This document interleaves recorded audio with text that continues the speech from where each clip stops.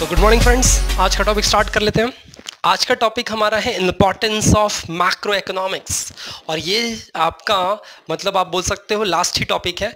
इसके बाद एक छोटा सा डिस्टिंग्विश है। वो शॉर्ट शॉर्ट में हम लोग देख लेंगे फटाफट। ठीक है? वो तो रिपीटेड पॉइंट होंगे। फ़र्स्ट पॉइंट क्या आ रहा है वो देख लेते हैं फटाफट। तो स्टार्ट करें। Importance of macro economics right first point क्या है? फंक्शनिंग ऑफ़ एन इकोनॉमिक इसका मतलब मैक्रो थेरी जो है, वो इकोनॉमिक के फंक्शनिंग को मतलब इकोनॉमिक कैसे फ़ंक्शन परफॉर्म कर रहा है, उसको एनालिसिस करने में हमें हेल्प करता है। और साथ में उससे रिलेटेड आइडिया सजेशंस वो हमको प्रोवाइड करता है। मतलब पहले इकोनॉमिक को इकोनॉमिक कैसे फ़ंक्शन कर रहा है, उसको एनालिसिस कैसे करना है, वो हमें सिखाता है। उसमें जो भी दिक्कतें आ रही हैं, उससे रिलेटेड सॉल्यूशन प्रोवाइड करने की हमें ये कोशिश करता है। कौन सी थेरी मैक्रो थेरी ठीक है? और इसमें जैसे आपको पैराग्राफ कैसा दिया है वो देख लो। Macro is a deal gives an idea for the functioning of an economic system.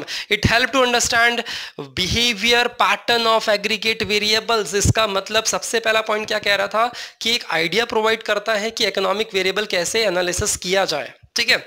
उसके बाद ये बहुत सारे वेरिएबल्स को एनालिसिस करता है।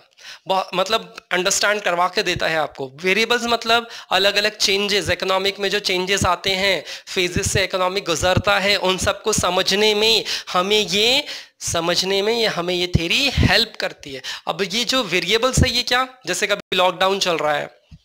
कभी इकोनॉमिक बहुत ज़्यादा बूम पे चल रहा है, कभी इन्फ्लेशन बहुत ज़्यादा, महँगाई बहुत ज़्यादा बढ़ गई, कभी महँगाई बहुत ज़्यादा कम हो गई, कभी की कभी किसी चीज़ों की कमी हो गई, कभी कोई चीज़ बहुत ज़्यादा बढ़ गई। मतलब ये सब जो फेजेस हैं, इससे समझने में हमें ये थेरी हेल्प करती है। ठीक है, इसलिए पहला पॉइंट क्या है? इकोनॉमिक को फंक्शनिंग कैसे परफॉर्म करता है, उसको समझने में इस थेरी का कहीं ना कहीं इंपॉर्टेंस है। फ़र्स्ट पॉइंट ये था। ओके नेक्स्ट पॉइंट क्या रहा है? इकोनॉमिक फ्लक्चुएशंस अब ये जो इकोनॉमिक फ्लक्चुएशंस आते हैं जैसे हम लोग अभी मैं एग्जांपल आपको दे रहा था ना कि इकोनॉमिक में कभी लॉकडाउन हो जाए कभी आ, मतलब बूम हो जाए कभी आपका डिप्रेशन पीरियड आ जाए कभी इन्फ्लेशन पीरियड आ जाए तो ये फ्लक्चुएशन ही तो है। इकोनॉमिक ऐसा एक फ़ेज़ में नहीं चलता। इकोनॉमिक में अप एंड डाउन आते रहते हैं ठीक है? डेवलपमेंट कभी हो रहा है कभी नहीं हो रहा है कभी मतलब उतार चढ़ाव आ रहा है तो ये सब चीज़ें हमेशा होते रहेगी इकोनॉमिक्स में और यही फ्लक्चुएशंस की बात हो रही है। कि उतार चढ़ाव होते रहेंगे। जैसे कभी कभी किसी, अपने देश की इनकम बढ़ गई, कभी कम हो गई, कभी आउटपुट बढ़ गया, कभी कम हो गया, कभी एम्प्लॉयमेंट जनरेट हो गया, कभी नहीं हुआ। तो ये जो चीज़ें हैं, इसको समझने में ये थेरी हमें हेल्प करती है, ठीक है? और ऑफ़ कोर्स ये जो प्रॉब्लम्स हमको सामने दिखती है, जैसे अनएम्प्लॉयमेंट आ गया अंडर एम्प्लॉयमेंट आ गया, ये दिक्कतें हैं या नहीं है? ये भी तो वेरिएबल्स हैं, ये भी तो इकोनॉमिक फ्लक्चुएशंस हैं। तो इसमें इसको सॉल्यूशन प्रोवाइड करता है। ये जो प्रॉब्लम हमारे सामने आया, उससे रिलेटेड सॉल्यूशन प्रोवाइड कर कर उसको सॉल्व करने के लिए हमें ये सॉल्यूशन प्रोवाइड करके कहीं ना कहीं ये थेरी हमको हेल्प कर रही है। ठीक है? इसका मतलब इकोनॉमिक फ्लक्चुएशन जो भी आएँगे, उसको समझना। और उससे रिलेटेड कहीं ना कहीं कुछ ना कुछ सॉल्यूशन प्रोवाइड करना, ये थेरी हमको इस तरह से हेल्प करती है। ठीक है? ओके थर्ड पॉइंट क्या रहा है? नेशनल इनकम अब ये नेशनल इनकम क्या है? थर्ड पॉइंट हमारा है। इसको, इसके लिए कैसे इंपॉर्टेंस आ गया? तो study of micro economics has broad forward immense immense importance of the study of national income and social account इसका मतलब यहाँ पे थर्ड पॉइंट जो है, हमको नेशनल इनकम और सोशल अकाउंटिंग को स्टडी करने में ये थेरी हमको हेल्प करती है।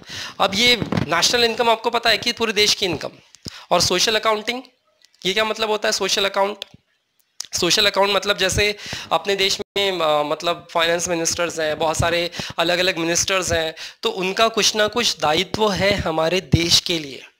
ठीक है? कुछ ना कुछ वो लोग मॉनिटर करते हैं और उनको जवाब देना है पब्लिक को। मतलब जो भी टैक्स का पैसा जमा होता है, जो भी गवर्नमेंट के पास इनकम होती है, हम लोगों के तरफ़ से तो वो पैसा कहीं ना कहीं यूज़ आना चाहिए अपने इकोनॉमिक में, नहीं तो अगर वो यूज़ नहीं आएगा तो वो जवाब कैसे देंगे? इसका मतलब सोशल अकाउंटिंग कहीं ना कहीं है, उनकी ज़िम्मेदारी कहीं ना कहीं है।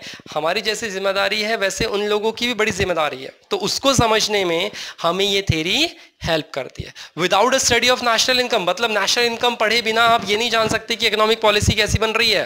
इकोनॉमिक पॉलिसी सही है या फिर नहीं है। मतलब अगर कोई गवर्नमेंट आती है, वो अच्छी पॉलिसी बनाती है तो आपकी इनकम बढ़ेगी। हर एक इंसान की इनकम बढ़ेगी। अगर हर एक इंसान की इनकम बढ़ रही है तो नेशनल इनकम बढ़ रही है। अगर अगर नेशनल इनकम बढ़ रही है तो ऑफ़ कोर्स पॉलिसी बहुत अच्छी बन रही है। और पॉलिसी अच्छी बन रही है तो इसको समझने में हमें ये थेरी हेल्प कर रही है कि हाँ भाई, ये पॉलिसी अच्छी है, इसको अपनाया जाए।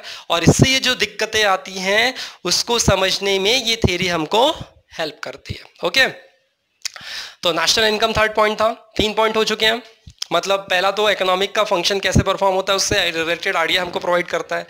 सेकंड क्या इकोनॉमिक फ्लक्चुएशन जो इकोनॉमिक में वेरिएबल्स आते हैं, उसको समझने में हमें हेल्प कर रहा है। तीसरा, क्या नेशनल इनकम नेशनल इनकम को समझकर सोशल अकाउंटिंग को समझकर, हमें यहाँ पे ये थेरी पॉलिसी बनाने में हेल्प करता है राइट फोर्थ पॉइंट क्या रहा है? इकोनॉमिक डेवलपमेंट बहुत सारे ऐसे एडवांस स्टडीज़ हैं मतलब मैक्रो के मैक्रो थेरी के कोर्स जो हमें इकोनॉमिक डेवलपमेंट को समझने में इकोनॉमिक प्रॉब्लम को समझने में हेल्प करती है।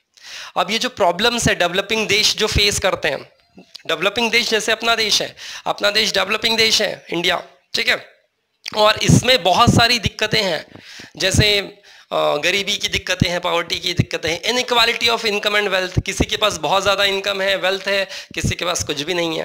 तो ये इनक्वालिटी जो है, इसको समझने में हमें ये थेरी हेल्प करती है। और उससे रिलेटेड प्रॉब्लम कैसे सॉल्व किया जाए, उसमें सॉल्यूशन भी प्रोवाइड करती है। जैसे अभी आप देखो कि किसी किसी की लाइफस्टाइल बहुत बड़ी अच्छी होती है। मतलब सुबह सुबह उठकर एकदम फ्रूट जूस पीना ठीक है, कार में ही घूमना एसी में ही रहना, ये स्टैंड ऑफ़ लिविंग है। अलग अलग लोगों की अलग अलग स्टैंड ऑफ़ लिविंग होती है, ठीक है? अब ये जो स्टैंड ऑफ़ लिविंग है, वो किस पे डिपेंड है? उनकी इनकम पे। उनकी इनकम अच्छी हो रही है, इसलिए उनकी स्टैंड ऑफ़ लिविंग अच्छी है। हमारी नहीं है, इसलिए नहीं है।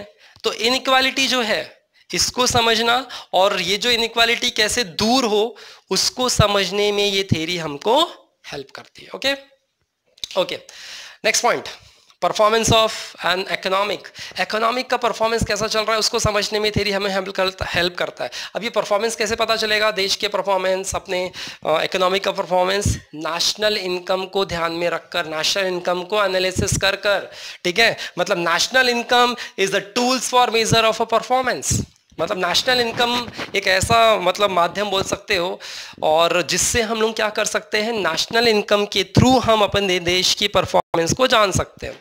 समझो कि सोचो सबके पास भरपूर इनकम है मतलब कोई गरीब नहीं है किसी देश में। तो सोचो उस देश का परफॉर्मेंस क्या होगा? अच्छा होगा है ना? और किसी देश में समझ लो कि आ, कुछ लोगों के पास इनकम अच्छी है कुछ बहुत सारे लोग ऐसे हैं जिनके पास इनकम ही नहीं है। बहुत सारे लोग गरीब हैं। खाने के लिए मतलब दिन दिन भर काम करते हैं, तब जाके खाने के लिए उनको अरेंजमेंट हो पाता है उनका।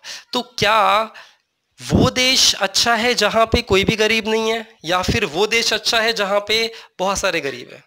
सिंपल सी बात है ना कि ये जो नेशनल इनकम की बात हो रही है नेशनल इनकम के थ्रू हमको ये पता चलता है कि इकोनॉमिक परफॉर्मेंस कैसा है।